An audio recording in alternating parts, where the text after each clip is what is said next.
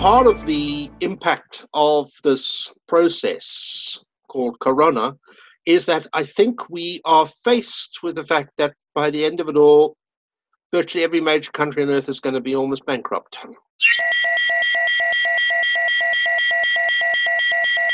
Well, folk, here is my next conversation with a tough mind and tender heart. And I was be working my way through a book by Father Anthony Egan called God's Universe, Our Responsibility. So I thought, well, here's a chance for me to get a really, really tough mind into this conversation. Um, Anthony has, I think I counted five degrees. He has two honors degrees, two master's degrees, and a PhD. So, Anthony, welcome and thank you for making time. Can I call you an eco theologian, or do you need to have another degree to be called that? Yeah, thanks, John. My own journey was a rather circuitous route.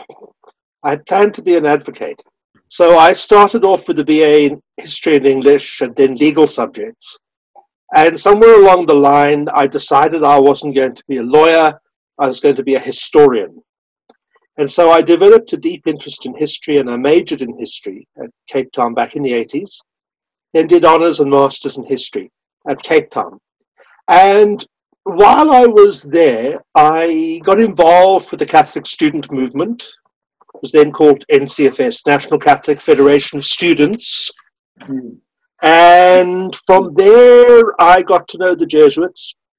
I always jokingly say that my, my knowledge of the Jesuits before that had been based on three things reading history, which was fascinating when you look at the history of the Jesuits. Having a Jesuit high school teacher who is now my next door neighbor in my community.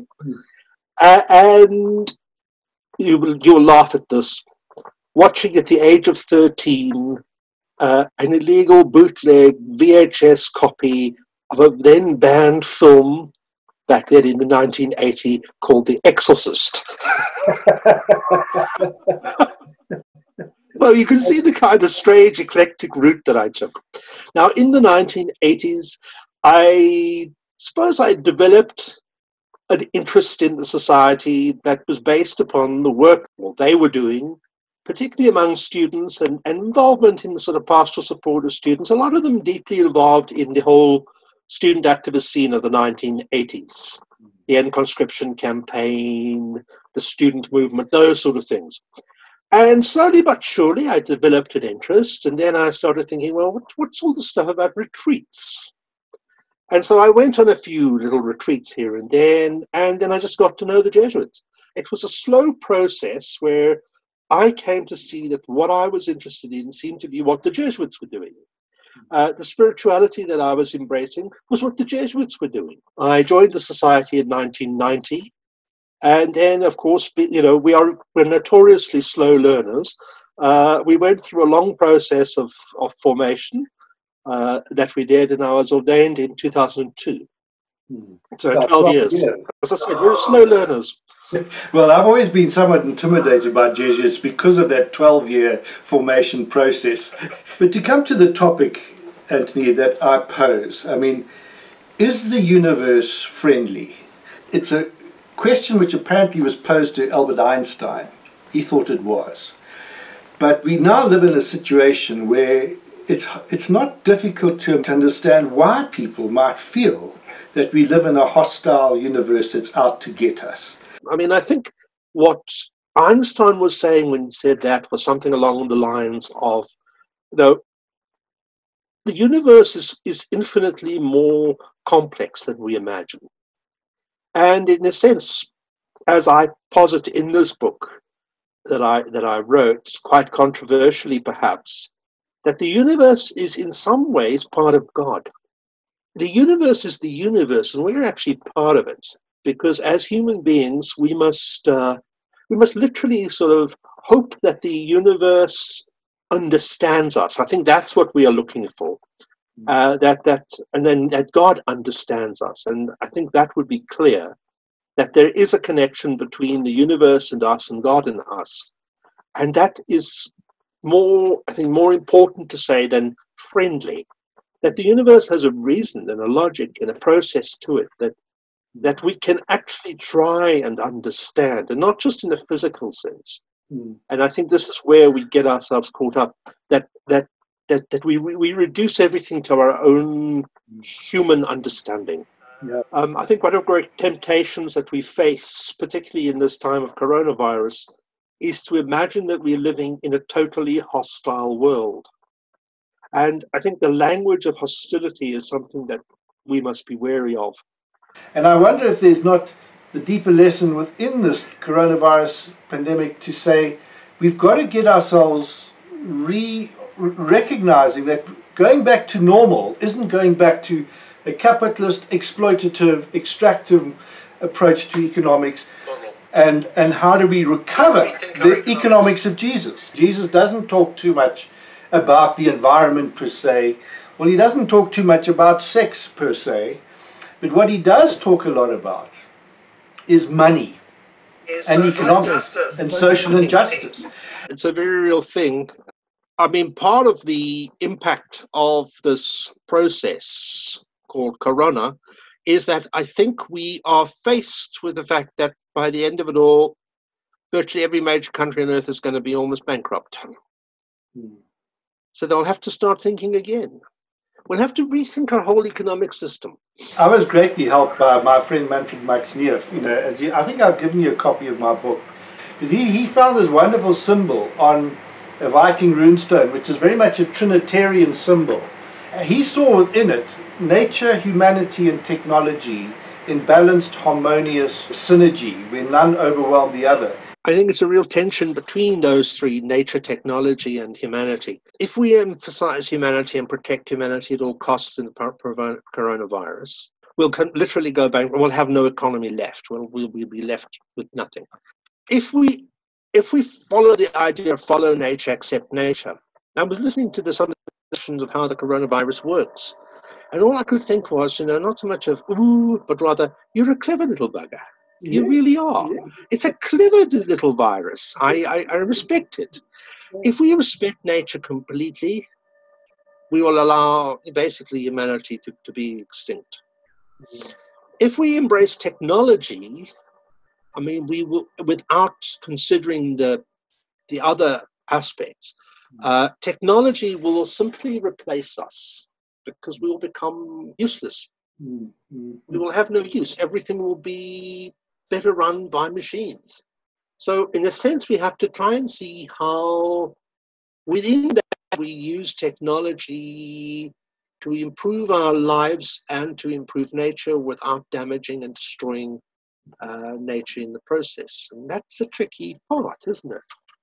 I, I think for me, one of the things that I've learned, and I mean, in a sense, I've learned it through both the spiritual exercises of St. Ignatius, but also through other sort of journeys of prayer, and particularly the sort of, shall we say, sort of Buddhist style prayer and its Western appropriation by people like John Main and Laurence Freeman, is that you sometimes have to just be silent. Now, you, are a historian, so let's talk a bit about from history. What parallels can we draw from in trying to come to terms with what's happening today? Is there something that history can teach us? Yeah, I think it's a it's a yes and no answer. I mean, no, history doesn't repeat itself exactly every time. I mean, that, that we have to put aside. But yes, I think we can learn from different experiences of the past um, one, I was very privileged in the 80s to be taught by a historian in South Africa who's probably one of about, you know, about 20 or 30 historians around the world who specialized in the great influenza epidemic mm. of 1918 to 21, Howard Phillips. And he looked at the experience of the great influenza epidemic in South Africa itself. That was his doctoral thesis in his first book. And it helps you to see the way in which we've both moved forward from where we were, but at the same time stuck, stuck in the past. I mean, in many ways, the spread of the influenza epidemic was far, far slower than what we've had with COVID 19. I mean, COVID 19 uh, sort of surfaced, what was November, December last year. And now by April, less than six months, uh, we basically have a worldwide pandemic. Spanish influenza slowly started, popped up. There's even a debate about where it started. Some people will say it started in, in Southeast Asia.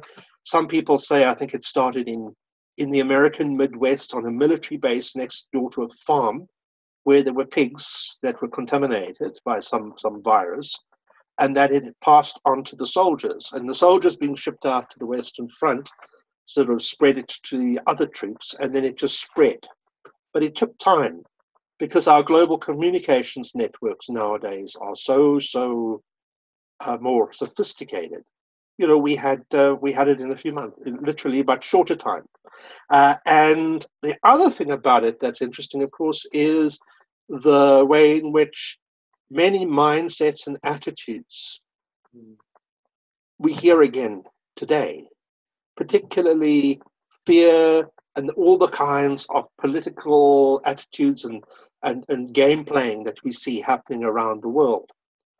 More positively, and perhaps most positively, today we are far more scientifically sophisticated, and we're already starting to look at prototypes to develop um, vaccines and stuff like that the moment the disease started, scientists were, were there starting to work on trying to find ways of fixing the problem, which, you know, at the end of a world war, tail end of a world war, and with a less sophisticated scientific knowledge, people didn't have.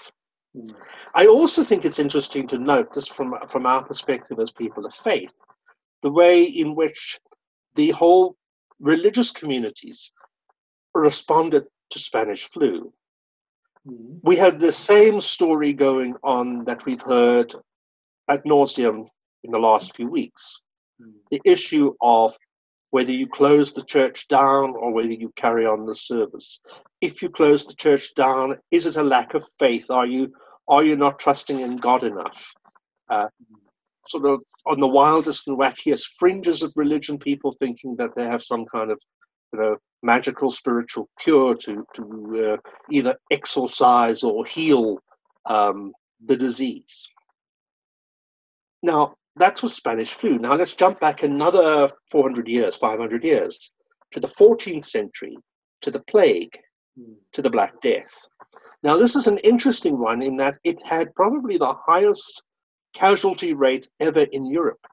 I mean, I don't think anything killed off Europe more than the Black Death. Mm. And the Europeans, you know, let's forget the nice civilized and pacifist type people they are today, were pretty, you know, homicidally mad uh, under, you know, successions of mad kings in the 14th century. So they were used to, to mass death. But one in three Europeans die in the Black Plague. Yeah. And the plague becomes a kind of expression that almost stymies the religious community.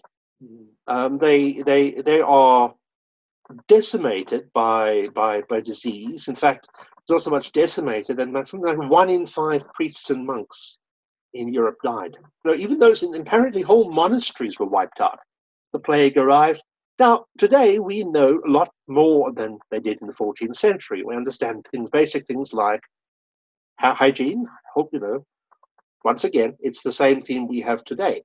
But the other thing we have in, in, the, in the plague is a kind of theology that, that saw this disease, which remember, it's no one really knows where it's coming from. They've not really worked out where it is. Or, you know, what is it? Where is it? You know, and and they believe there's all kinds of diabolical forces at work, or divine uh, justice, divine punishment for sin, and all those kind of things. Which luckily, I think we have we've moved away from in the 21st century and I think that's because we've uh, we've come to a deeper understanding of and reached a kind of good working relationship with science. We've all basically agreed on the same, more or less, on the same scientific basis, scientific situation.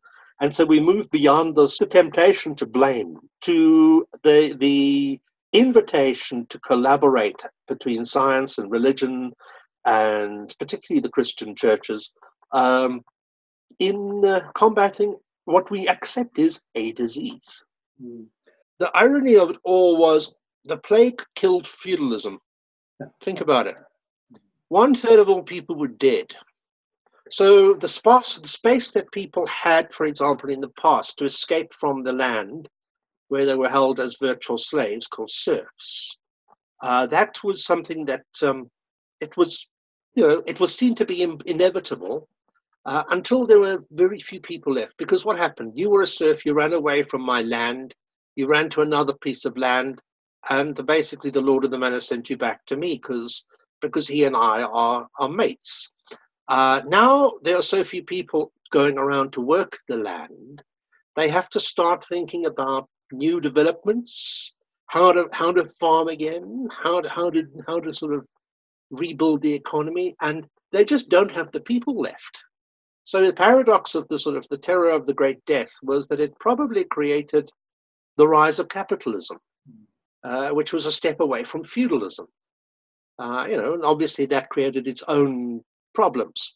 Hmm. Uh, but you know, every every time history moves forward, we we see that you know there's there's always going to be a mixed pro and con to every kind of new development. And uh, I don't know if you've read Yuval Noah Harari. Yes, yes. Uh, Homo Deus, the next stage of our evolution, this uh, rise of the machine. Some people are almost saying the sort of development of the human machine synthesis, transhumanism. And that's going to be a really interesting problem. Uh, now, with that, the rise of a new economy after this global pandemic, it sounds harsh to say it, but the more the more people die in the pandemic and the more the economies of the world are ruined, the more likely that they, they'll have to start thinking anew. That, or they essentially start a new imperial period where you simply annex territory and enslave the locals. And so essentially, what you have are a series of rampaging warlords around the planet. So, I mean, there's no guarantee what answer there is because history, as I say, doesn't repeat itself. But it raises very interesting questions. It does. but you talk of yourself in your book as a residual Marxist. now, what does your crystal ball say? What will be the, the relationship between capital and labor and then after this pandemic? I don't know. It's a very complicated one. I mean, essentially, up until now, uh, talking globally, labor's on the on the back burner. They have been pushed to the margins it sounds cynical to say it depends how many people in which classes die. But some of those outcomes could be very bleak. Machines in factories don't catch coronavirus, mm. humans do.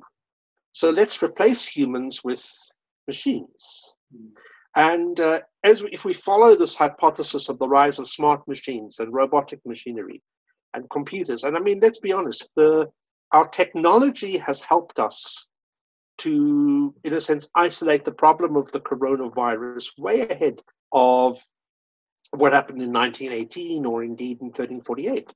So we are becoming more and more connected to our machines. Look, look at the way we are conversing at the moment on a, on a computer. Uh, this was the stuff of science fiction mm. back in the 1950s and 60s. Mm. I mean, our cell phone was pioneered by Star Trek. So technology may well be much stronger uh, and that will inevitably align it with whoever has control of technology. Mm.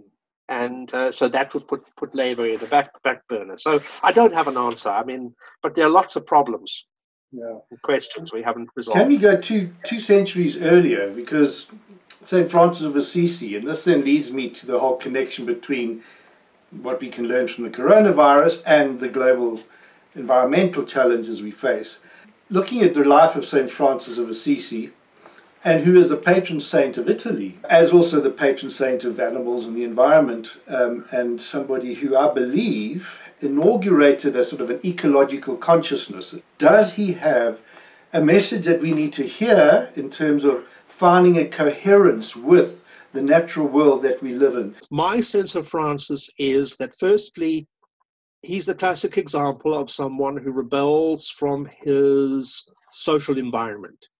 You know, he was uh, in that kind of merchant class and he, he walked away from it.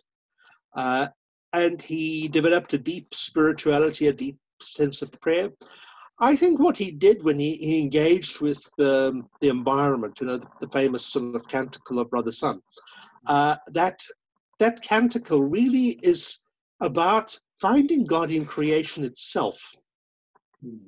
And I think this is this was a major step forward. Although I must also point out that if you look into a lot of the mystical sides of early Christianity, there is a deep sense of connection.